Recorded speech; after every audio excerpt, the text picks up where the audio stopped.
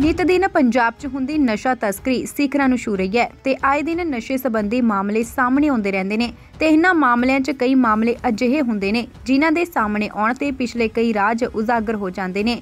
ਅਜਿਹਾ ਹੀ ਨਸ਼ਾ ਤਸਕਰੀ ਨਾਲ ਜੁੜਿਆ ਹੋਇਆ ਮਾਮਲਾ ਤਰਨਤਾਰਨ ਤੋਂ ਸਾਹਮਣੇ ਆਇਆ ਹੈ, ਜਿਸ ਵਿੱਚ ਪੁਲਿਸ ਨੇ ਤਸਕਰ ਨੂੰ ਕਾਬੂ ਕਰਨ ਦੇ ਨਾਲ-ਨਾਲ ਉਸ ਪਾਸੋਂ 1 ਕਿਲੋ 55 ਗ੍ਰਾਮ ਹੈਰੋਇਨ ਬਰਾਮਦ ਕੀਤੀ ਹੈ।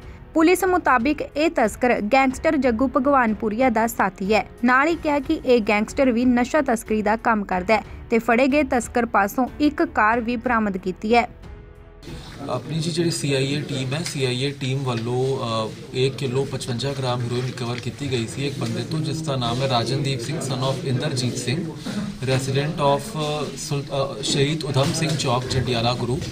ਤੇ ਉਸ ਤੋਂ ਇਲਾਵਾ ਇਹਨਾਂ ਦਾ ਇੱਕ ਐਸੋਸੀਏਟ ਸੀ, ਬਬਲੂ, ਜਿਸ ਦੀ ਇੱਕ ਸਵਿਫਟ ਗੱਡੀ ਸੀ, ਉਹ ਮੌਕੇ ਤੋਂ ਫਰਾਰ ਹੋ ਗਿਆ ਸੀ। ਤਾਂ ਉਸ ਨੂੰ ਵੀ ਪੁਲਿਸ ਨੇ ਇਸ ਪਰਚੇ ਦੇ ਵਿੱਚ ਨੋਮੀਨੇਟ ਕੀਤਾ ਹੈ। ਤਾਂ ਦੌਰਾਨੇ ਪੁੱਛਗਿੱਛ ਇਹ ਗੱਲ ਸਾਹਮਣੇ ਆਈ ਹੈ ਕਿ ਇੱਕ ਬੰਦਾ ਸੀ ਜੋਧਵੀਰ ਸਿੰਘ ਔਰ ਇੱਕ ਹੈ ਇੱਕ ਹੈਗਾ ਬੁੱਲੀ ਜੰਡਿਆਲਾ। ਤਾਂ ਇਹਨਾਂ ਦੋਨਾਂ ਤੋਂ ਇਹ ਬੇਸਿਕਲੀ ਹੀਰੋਇਨ ਕੰਸਾਈਨਮੈਂਟ ਲੈ ਨਾਲ ਲੈ ਕਰਕੇ ਆ ਰਹੇ ਸੀ। ਤਾਂ ਇਹਨਾਂ ਨੂੰ ਵੀ ਨੋਮੀਨੇਟ ਕੀਤਾ ਔਰ ਇਹਦੇ ਵਿੱਚ ਇਹ ਗੱਲ ਦੱਸਣ ਯੋਗ ਹੈ ਕਿ ਬੁੱਲੀ ਜੰਡਿਆਲਾ ਖੁਦ ਇੱਕ ਲੋਕਲ ਐਕਟਿਵ ਗੈਂਗਸਟਰ ਹੈ, ਜੰਡਿਆਲਾ ਤਰਨਤਾਰਨ ਏਰੀਆਜ਼ ਦੇ ਵਿੱਚ, ਜਿਸ ਦਾ ਆਪਣਾ ਪੂਰਾ ਇੱਕ ਗੈਂਗਸਟਰ ਨੈਟਵਰਕ ਵੀ ਹੈਗਾ ਔਰ ਇਹ ਬੰਦਾ ਜੱਗੂ ਭਗਵਾਨਪੁਰੀਆ ਦਾ ਬੜਾ ਕਲੋਜ਼ ਔਰ ਐਕਟਿਵ ਐਸੋਸੀਏਟ ਹੈ।